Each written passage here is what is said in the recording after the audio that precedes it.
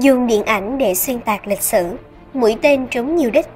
Mới đây trên các diễn đàn mạng xã hội của Trung Quốc và nhiều quốc gia trên thế giới xuất hiện trailer bộ phim mang tên Vương Bài.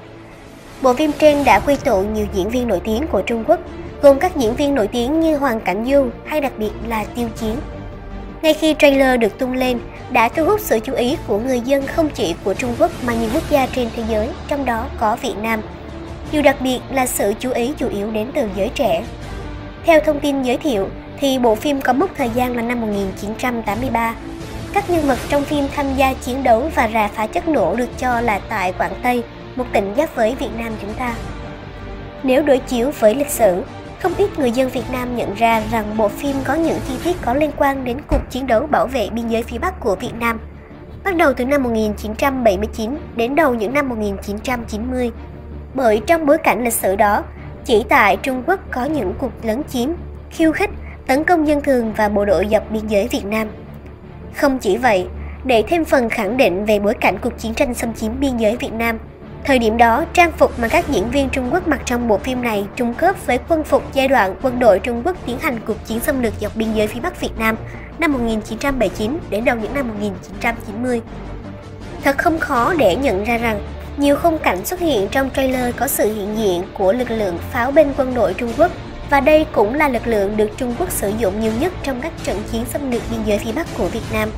Cụ thể ở đây có thể nhắc đến địa điểm diễn ra cuộc chiến khốc liệt nhất trong giai đoạn gây chiến của Trung Quốc, đó là ở Vị Xuyên, tỉnh Hà Giang,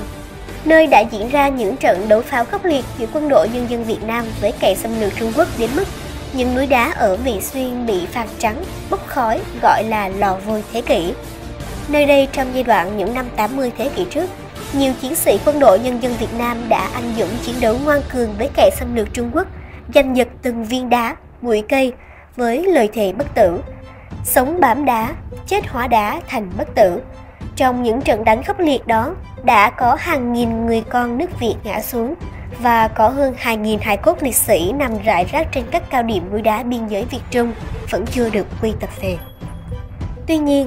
qua bàn tay của những kẻ xâm lược, bộ phim Vương Bài đã lợi dụng cuộc chiến xâm lược Việt Nam những năm 80 thế kỷ trước dù thua trận nhưng lại được biến thành cuộc chiến phản kích với âm mưu xuyên tạc lịch sử, rằng chính Việt Nam đã phát động chiến tranh xâm phạm biên giới và Trung Quốc chỉ phòng thủ chính đáng, bảo vệ chủ quyền. Điều đáng buồn, với danh xưng phim là nghệ thuật không liên quan đến chính trị, nhiều bạn trẻ Việt Nam, những người sinh ra sau chiến tranh lại bỏ ngoài tai tất cả những dữ kiện lịch sử,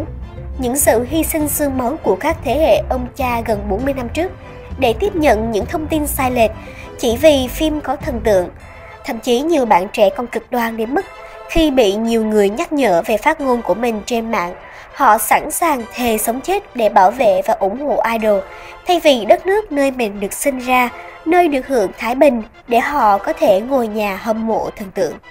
Truyền bá lịch sử thông qua phim ảnh và âm nhạc là một trong số những hoạt động nguy hiểm nhất, dễ dàng nhất để xâm nhập vào một quốc gia và xóa nhòa đi lịch sử của chính quốc gia đó. Thậm chí còn có thể làm sai lệch lịch sử, biến kẻ xâm lược thành kẻ không xâm lược, chôn vùi tội ác của chúng qua những thần tượng màu mè. Hãy tỉnh táo trước khi quá muộn.